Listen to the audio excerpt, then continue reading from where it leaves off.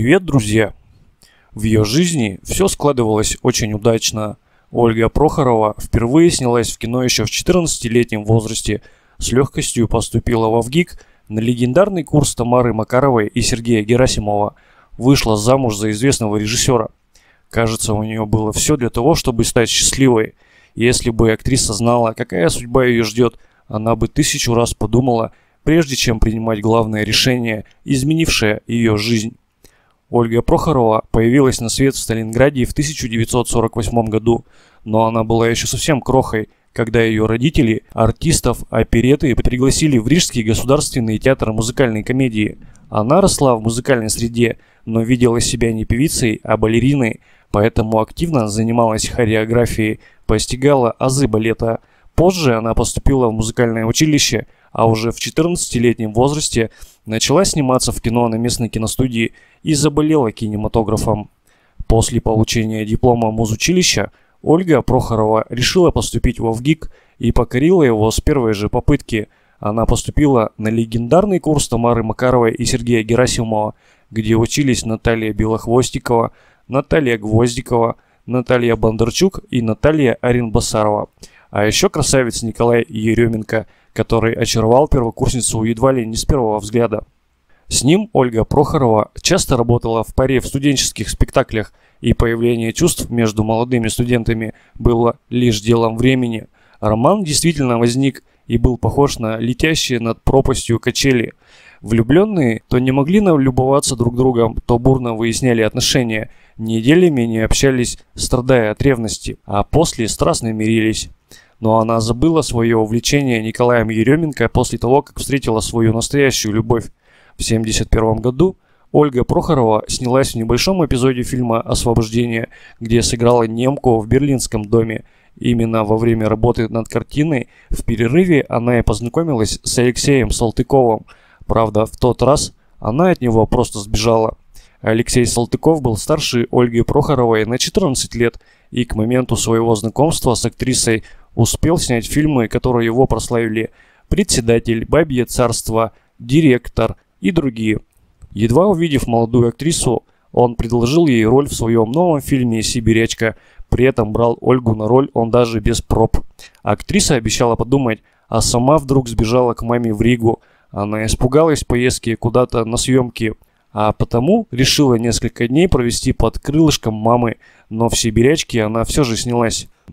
Вскоре она вернулась в Москву, а во время встречи с Алексеем Салтыковым – Получила не только роль, но еще предложение руки и сердца. Закоренелый холостяк, предмет обожания со стороны Нонны Мордюковой, Римы Марковой и Людмилы Гурченко, не устоял перед обаянием и красотой молодой актрисы и женился на ней, не обращая ни на кого внимания на недоумение первых красавиц, симпатизировавших ему. Сама же Ольга Прохорова была покорена обаянием чувством юмора Салтыкова. Он, несмотря на известность, сумел сохранить какую-то мальчишескую непосредственность, умение совершать неожиданные поступки и заражать своими авантюрами идеями окружающих. В день, когда Алексей Салтыков и Ольга Прохорова подавали заявление в ЗАГС, они отправились в кафе отметить это событие, и режиссер предложил своей невесте украсть тарелки на память. Дело закончилось вызовом милиции, но когда директор кафе узнал в преступнике известного режиссера, предложил взять к украденным тарелкам еще и чашки. Алексей Салтыков постоянно снимал Ольгу Прохорову в своих фильмах, а супруги могли бы прожить вместе, наверное, целую жизнь, если бы режиссер не стал увлекаться спиртным. Все чаще он пытался компенсировать употреблением алкоголя свое разочарование из-за положенного на полку сценария фильма или неутвержденного на роль актера, которого он увидел в своей картине. Попытки расслабиться стали перерастать в запои, и Ольга Прохорова вскоре ушла от мужа. В 1984 году актриса в канадском посольстве, где проходил просмотр фильма «Полынь, трава горькая», познакомилась с молодым дипломатом. Он был хорош собой, образован, эрудирован и свободно говорил на шести языках. Канадский атташе в тот вечер так искренне восхищался талантом актрисы и столь настойчиво советовал ей попробовать сняться в Канаде, что Ольга Прохорова решилась. Роман с канадским дипломатом был стремительным, за ним последовала эмиграция на родину мужа. Правда, уже спустя несколько месяцев после заключения брака супруги развелись, но актриса осталась в Канаде, где довольно успешно снималась какое-то время в кино. Со вторым мужем она осталась в хороших отношениях, но при этом актриса и сегодня не желает рассказывать о нем. И признается, что в то время она продолжала любить Алексея Салтыкова. При этом первый муж продолжал общаться с мамой актрисы.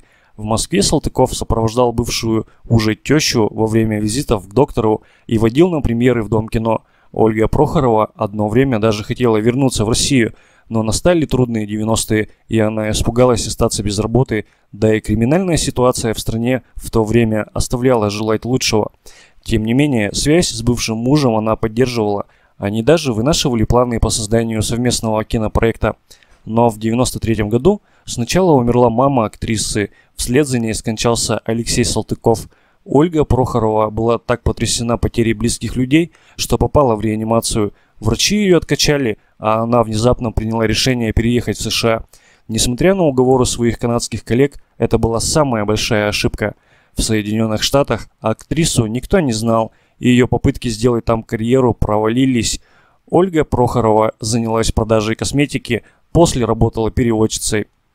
Личная жизнь тоже не сложилась. Вместе с возлюбленным они сняли квартиру с неисправным окном, и Алекс выпал из него, разбившись насмерть.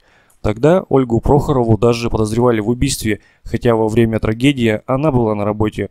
Потом ей отказывали в аренде жилья, она вынуждена была спать на стуле у каких-то цыган, сжалившихся над женщиной. В 2005 году Ольга Прохорова перенесла первый инсульт, за которым последовал второй. Она была частично парализована, а оплатить реабилитационный курс не могла и стала заниматься сама шаг за шагом, восстанавливая утраченные функции. Она очень плохо видит и живет на пособие по инвалидности, снимает квартиру вместе с иммигрантом из Беларуси и иногда подрабатывает синхронным переводчиком. Она очень жалеет о том, что не вернулась когда-то в Россию, а теперь у нее просто нет такой возможности. Накопленные за время работы в Канаде деньги она вложила в свой кинопроект, но прогорела. В Москве родственники, воспользовавшись доверенностью от мамы актрисы, переписали все имущество на себя, и у нее ничего там не осталось. Ольга Прохорова и сегодня мечтает вернуться на родину, но боится, что без посторонней помощи не справится. При этом она не хотела бы просить милостыню, а могла бы работать и приносить пользу. Она неоднократно становилась жертвой мошенников, обещавших ей помочь с квартирой в Москве, а после исчезнувших с ее деньгами, и сегодня утратила всякую веру в то, что сможет когда-нибудь исполнить свою мечту. А мечтает она снять документальную ленту о своем первом муже – и даже написала к ней сценарий, но кажется, он так и останется пылиться в ее столе. В жизни первого мужа Ольги Прохоровой были и другие женщины, а его пристрастие к спиртным напиткам сыграло свою роковую роль в судьбе другой талантливой актрисы Светланы Жгун. Она всю жизнь пыталась найти свое простое женское счастье, отдаваясь чувствам без остатка. Делитесь этим видео с друзьями и берегите себя. А также не забывайте подписаться, поставить лайк и нажать на колокольчик – чтобы не пропустить новые видео.